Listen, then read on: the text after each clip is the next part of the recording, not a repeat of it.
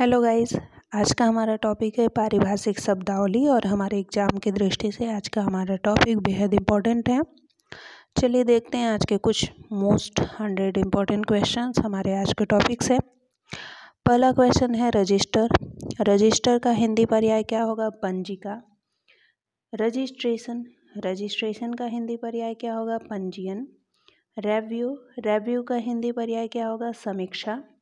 रेवर्ट रेवर्ट का हिंदी पर्याय क्या होगा? पदावनत। Presiding officer. प्रिसाइडिंग ऑफिसर का हिंदी पर्याय होगा पीठासीन अधिकारी। Vice chancellor. वाइस चांसलर का हिंदी पर्याय होगा कुलपति। क्यूरेटर। क्यूरेटर का हिंदी पर्याय होगा संग्रहालयाध्यक्ष। एजेंट।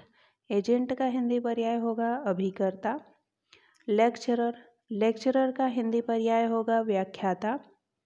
एडवोकेट एडवोकेट का हिंदी पर्याय होगा अधिवक्ता, रेवेन्यू बोर्ड रेवेन्यू बोर्ड का हिंदी पर्याय होगा राजस्व परिषद।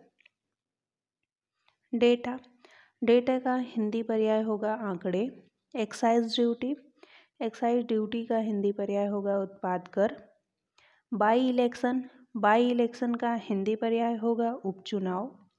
काउंटर काउंटर का हिंदी पर्याय होगा पटल, कल्प्रिट कल्प्रिट का हिंदी पर्याय होगा अपराधी, एफिडेविट एफिडेविट का हिंदी पर्याय होगा शपथ पत्र अटेस्टेड अटेस्टेड का हिंदी पर्याय होगा अनुप्रमाणित, क्लेम क्लेम का हिंदी पर्याय होगा दावा, इनफोर्स इनफोर्स का हिंदी पर्याय होगा प्रवर्तन इमोल्यूमेंट्स एलिमेंट्स मतलब होता है।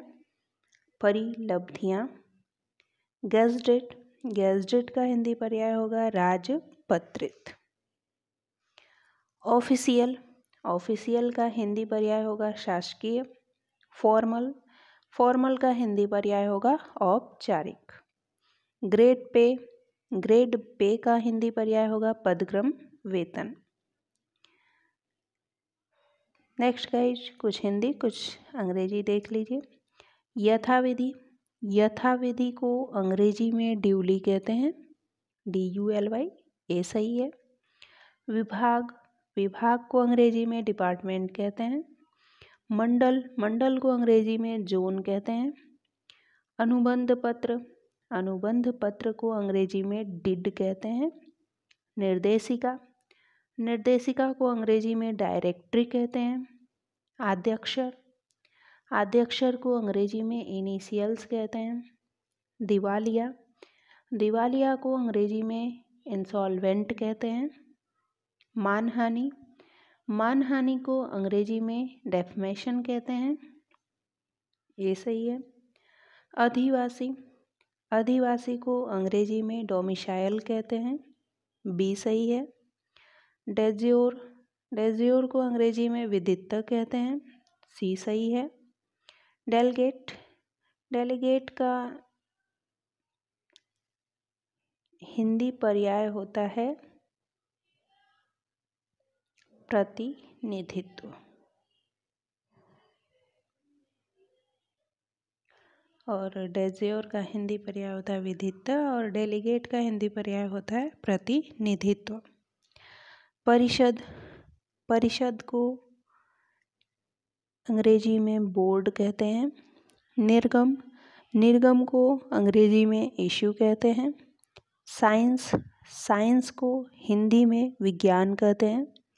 जियोलॉजिस्ट जियोलॉजिस्ट को हिंदी पर्याय में, या इसका जियोलॉजिस्ट का हिंदी पर्याय भूगर्भविद्ता होता है। एक्स ऑफिसियो एक्स ऑफिसियो का हिंदी पर्याय पदेन होता है। सीनियर सीनियर का हिंदी पर्याय वरिष्ठ होता है। इंजीनियर इंजीनियर का हिंदी पर्याय अभियंता होता है। रेगुलेशंस रेगुलेशंस का हिंदी पर्याय विनियम होता है। प्रभुता संपन्न प्रभुता संपन्न का अंग्रेज़ी शब्द सार्वजन होता है। बी सही है। रिक्ति। रिक्ति का अंग्रेज़ी शब्द विजिलेंट होता है। नगरीय। नगरीय का अंग्रेज़ी शब्द अर्बन होता है। कार्यस्थल। कार्यस्थल का अंग्रेज़ी शब्द वेन्यू होता है। ए सही है। कार्यालय। कार्यालय का अंग्रेज़ी शब्द ऑफ़िस होता है। निविदा। निविदा का अंग्रेज़ी शब्द टेंडर होता है। अब कुछ हिंदी पर्याय देखिए क्या होते हैं। एडमिनिस्ट्रेशन एडमिनिस्ट्रेशन का हिंदी पर्याय प्रशासन होता है। डिपार्टमेंट डिपार्टमेंट का हिंदी पर्याय विभाग होता है। प्रोसीजर प्रोसीजर का हिंदी पर्याय कार्यविधि होता है। गवर्नमेंट गवर्नमेंट का हिंदी पर्याय शासन होता है।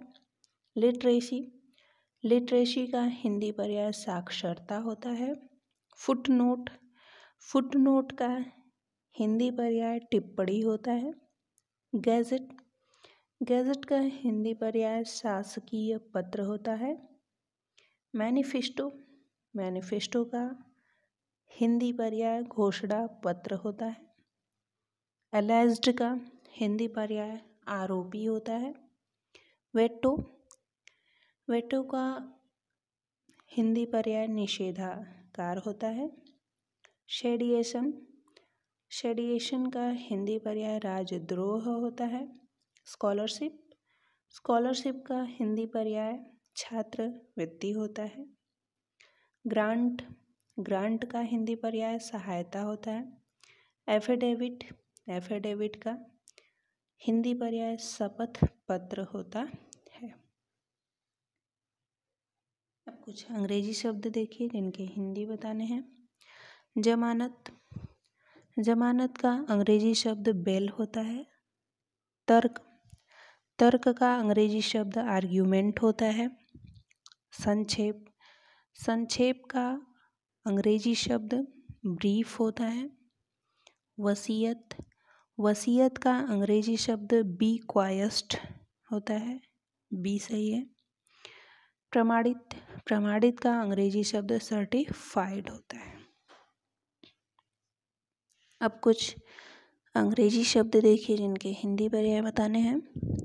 इवेजन इवेजन का हिंदी शब्द या हिंदी पर्याय अपवंचन होता है। अपवंचन का मतलब बहाना, ठीक।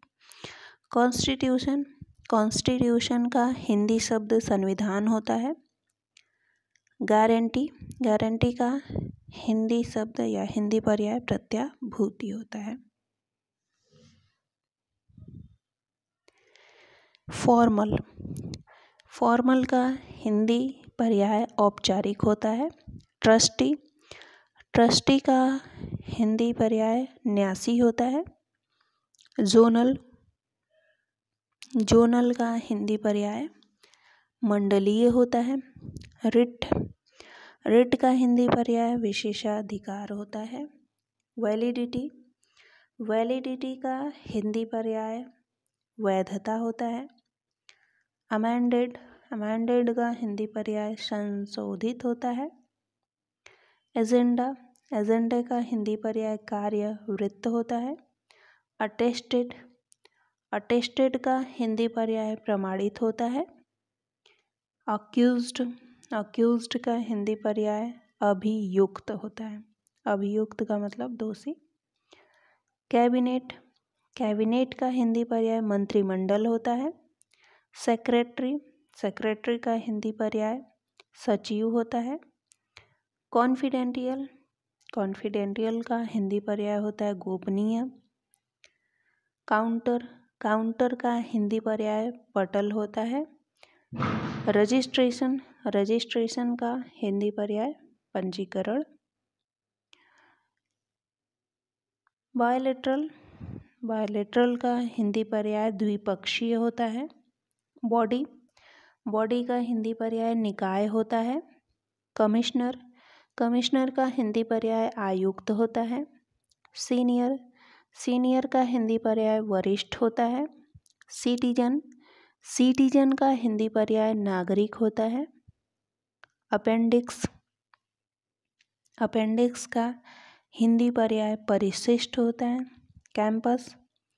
कैंपस का हिंदी पर्याय परिसर होता है, जस्टिस।